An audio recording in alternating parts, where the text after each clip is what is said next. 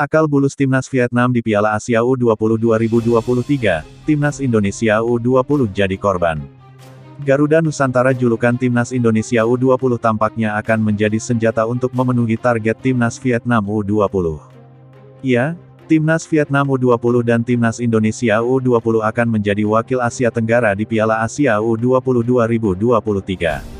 Piala Asia U20 sendiri akan digelar di Uzbekistan pada 1-18 Maret mendatang. Menariknya, Timnas Vietnam U20 memiliki misi terselubung pada ajang tersebut. Misi itu bahkan bakal membuat Timnas Indonesia U20 menjadi korban.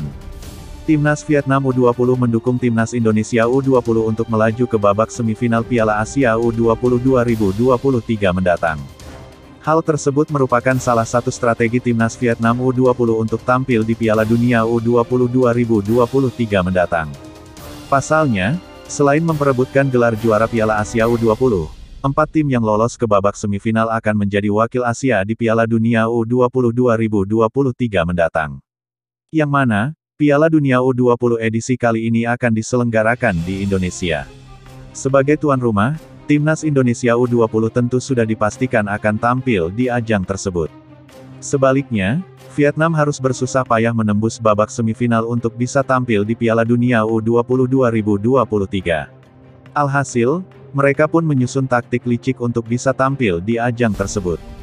Melansir dari laman Tetao 247, Jumat tanggal 3 Februari tahun 2023, Vietnam akan memiliki lebih banyak kesempatan untuk tampil di Piala Dunia U20 jika Timnas Indonesia U20 lolos ke semifinal Piala Asia U20 2023. Vietnam U20 mempunyai kesempatan lebih besar untuk tampil di Piala Dunia U20 jika Timnas Indonesia U20 lolos ke semifinal di Piala Asia U20 2023. Tentu saja, Timnas Indonesia U20 pasti akan ikut di Piala Dunia U20 2023 sebagai tuan rumah.